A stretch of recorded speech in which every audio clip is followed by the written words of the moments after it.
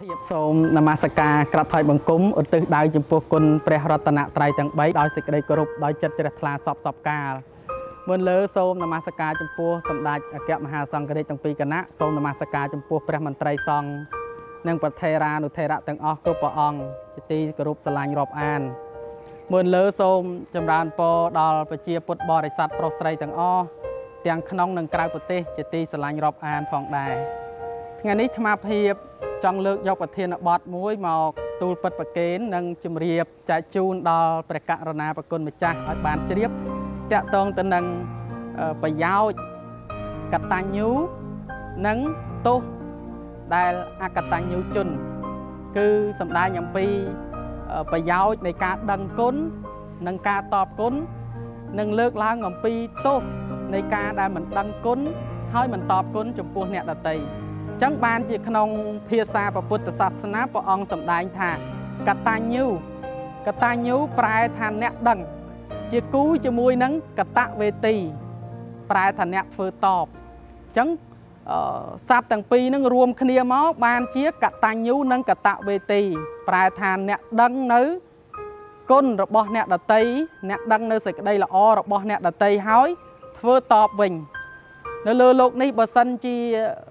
បុគ្គលណាមួយគ្រាន់តែដឹងថាអ្នកនេះមួយអ្នកនោះមួយជាអ្នកមានគុណអាស្រ័យ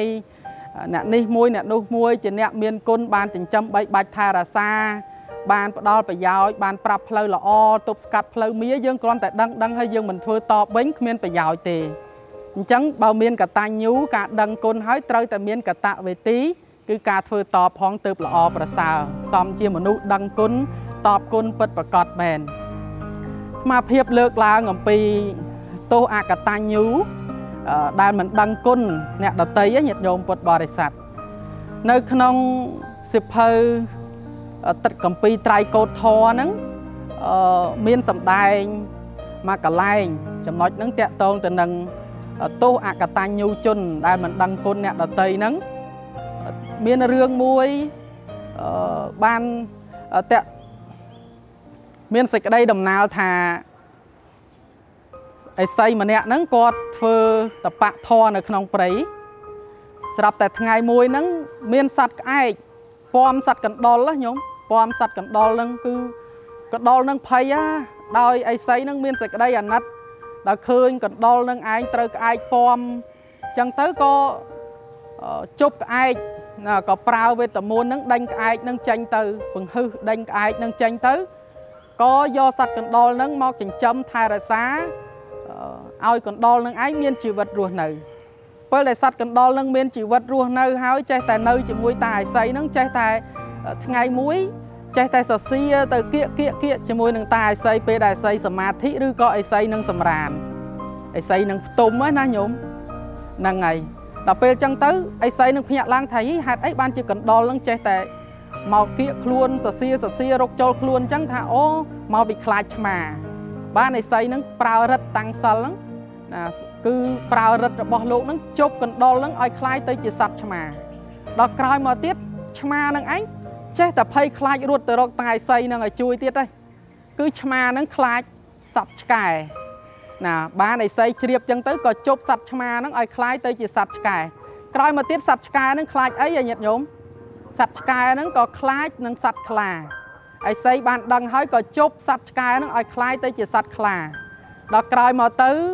សត្វខ្លាហ្នឹងចេះតែនៅជាមួយឥសីហ្នឹងអ្នកស្រុកអ្នកភូមិអីដើរកាត់តាមព្រៃតាមខ្ទមឥសីហ្នឹងបានដឹងរឿងហ្នឹងក៏និយាយថាអូសត្វខ្លាហ្នឹងជាសត្វរមិលគុណដែលឥសីហ្នឹងជប់អំពី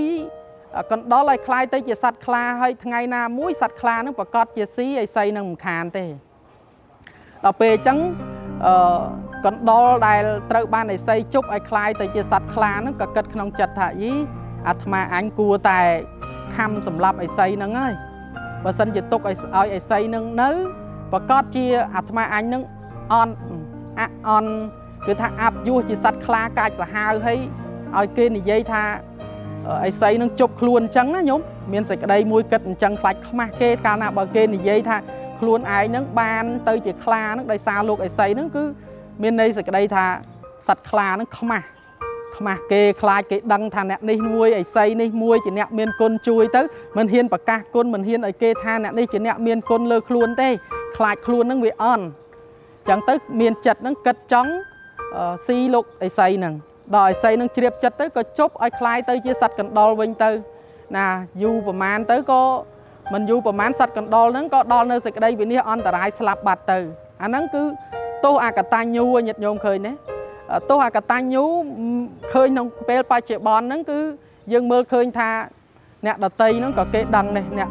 អ្នកណាមួយដែលគេដឹងរឿងហ្នឹងគេគេដឹងថាអ្នកហ្នឹងជាបុគ្គលអកតញ្ញូជនមិនល្អអីចឹងជាដើមណាញាតិញោមនឹងនិយាយពីទោសអកតញ្ញូហ្នឹងទោសក្នុងបច្ចុប្បន្នដល់ពេលទៅបរលោកធ្លាក់ទៅក្នុងអបាយភូមិ ធ្លាក់ទៅក្នុងអបាយភូមិមាននរកប្រាតអសុរកាយទេរឆានជាដើមចំណែកឯអានិសង្ឃក៏ដូចជាផលនៃការដឹងគុណតបគុណអ្នកដតីក៏ដូចជាមេដាបៃតាហ្នឹងនៅក្នុងសម័យពុទ្ធកាលបៃដកខ្មែរយើងលេខ73មានសម្ដែងគ្រាន់តែថ្វាយបង្គំឪពុកម្ដាយដោយសេចក្តីគោរពណាមានបរិសម្នាក់ហ្នឹងជាអ្នកដឹងគុណជាកូនប្រកបដោយធម៌ដឹងគុណឪពុកម្ដាយស្រឡាញ់ឪពុកម្ដាយគោរពពាក្យទូមានពៀនបដៅរបស់ឪពុកម្ដាយ ឪពុកស្លាប់ទៅសល់ម្ដាយហ្នឹងក៏នៅតែបំរើបំពេញទុននទីជាកូនល្អអត់ខ្មាស់អត់អៀនដៃទេថ្វាយបង្គំឪពុកម្ដាយឪពុកស្លាប់ទៅនៅតែទប់បំពេញទុននទីជាកូនល្អថ្វាយបង្គំម្ដាយទៀតញាតិញោមហ្នឹងហើយដល់បំពេញទុននទីល្អប៉ុណ្ណឹង